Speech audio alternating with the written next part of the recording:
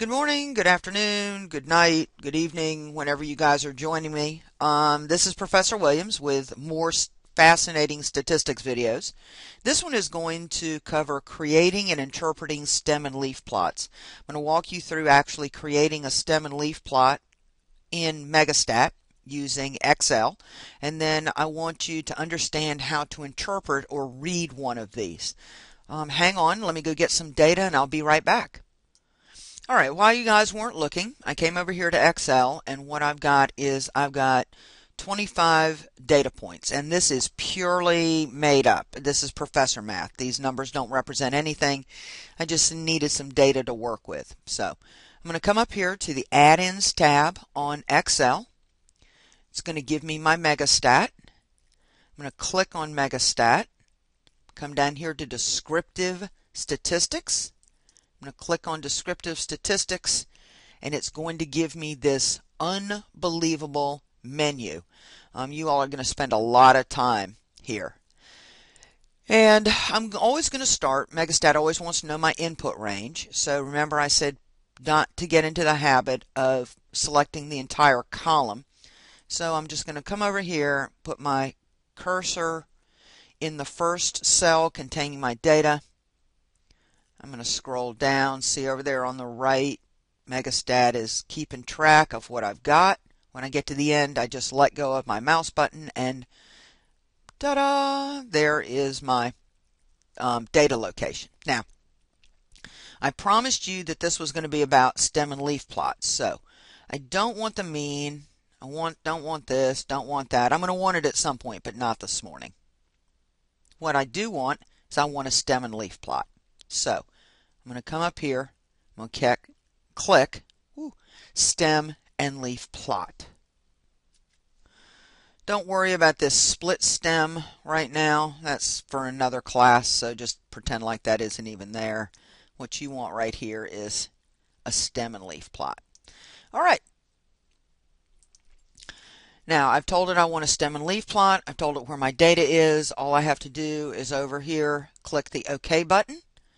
Close my eyes, click my heels twice, hit OK, and Megastat opens a new worksheet in my workbook and creates for me a stem and leaf plot.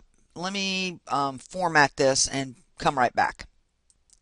All right, I just made a little bit bigger so you guys could could see what I had going on up here. All right. Um so all I did was make this thing a little bit bigger so you guys could see it. All right, first thing it's going to do is it's going to tell me count. I want to make sure that I got all my data points. I told you I had 25. I actually got ended up with all 25. Next thing it's going to do is it's going to give me the stem unit and the leaf unit. Stem unit of 10, leaf unit of 1. What does that mean? Well, remember way back in whenever, um, we learned the units in math and we knew that this was the one place, this was the 10, this is the 100, this is the 1000. When I see this stem unit of 10, what I know is that my stems are all going to be 10s. My leaves are all going to be 1s.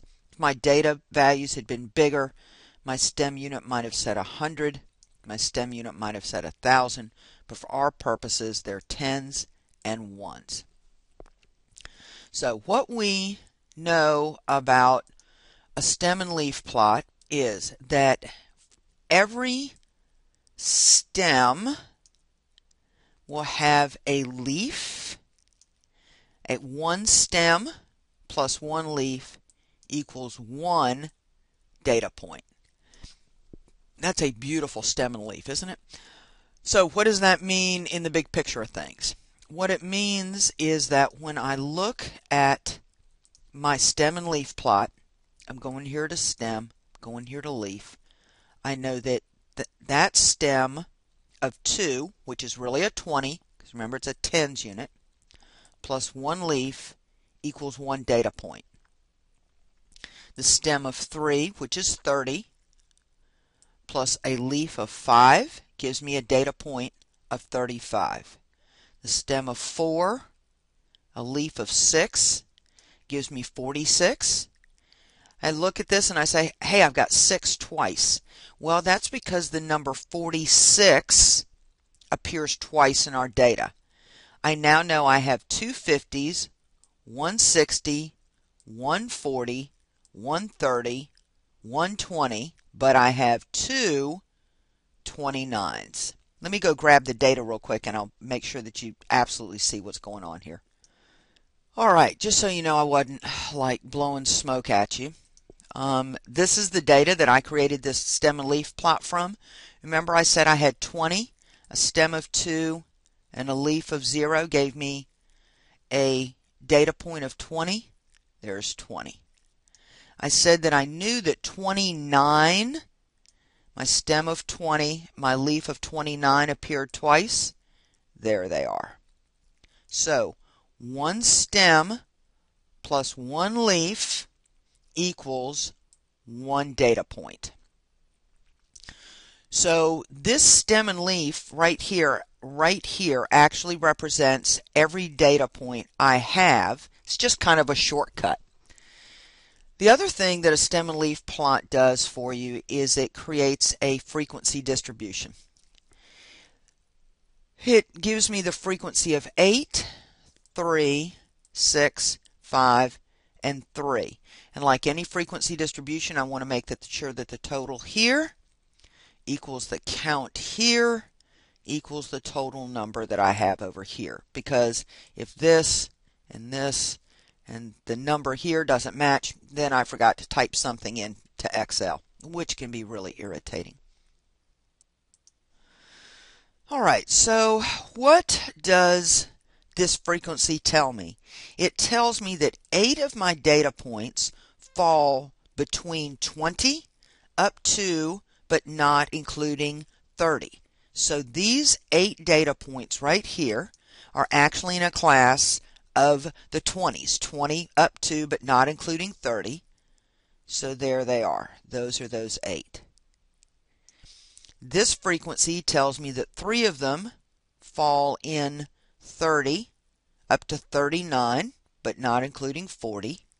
And there they are. This class right here tells me that I have six that are in the 40s. There they are. Here are my my frequency in the class of 50 up to but not including 59 is going to fall here. And this last one tells me that there are three in a class that runs from 60 would be up to but not including 70 if we had a data point that was above the value of 68. So this is really just another graphical representation of quantitative data. The things to remember are that you need to look for your stem unit and your leaf unit.